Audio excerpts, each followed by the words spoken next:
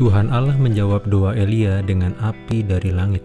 1 Raja-Raja 18 ayat 25 sampai 26. Ayat 29, ayat 36 sampai 40. Kemudian Elia berkata kepada nabi-nabi Baal itu, Pilihlah seekor lembu dan olahlah itu dahulu, karena kamu ini banyak. Sesudah itu panggillah nama Allahmu, tetapi kamu tidak boleh menaruh api. Mereka mengambil lembu yang diberikan kepada mereka, mengolahnya dan memanggil nama Baal dari pagi sampai tengah hari, katanya, Ya Baal, jawablah kami. Tetapi tidak ada suara, tidak ada yang menjawab. Sementara itu mereka berjingkat-jingkat di sekeliling mesbah yang dibuat mereka itu. Sesudah lewat tengah hari, mereka kerasukan sampai waktu mempersembahkan korban petang.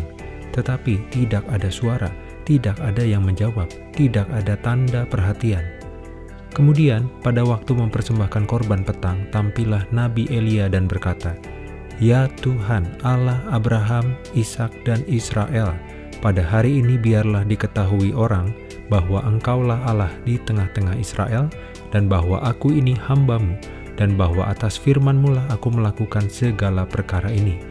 Jawablah aku, ya Tuhan, jawablah aku, supaya bangsa ini mengetahui bahwa Engkaulah Allah, ya Tuhan, dan Engkaulah yang membuat hati mereka tobat kembali.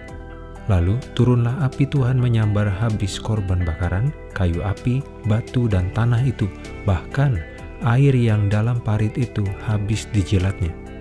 Ketika seluruh rakyat melihat kejadian itu, sujudlah mereka serta berkata, Tuhan, dialah Allah, Tuhan, dialah Allah.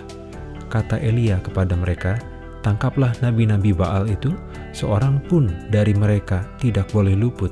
Setelah ditangkap, Elia membawa mereka ke sungai Kison dan menyembelih mereka di sana.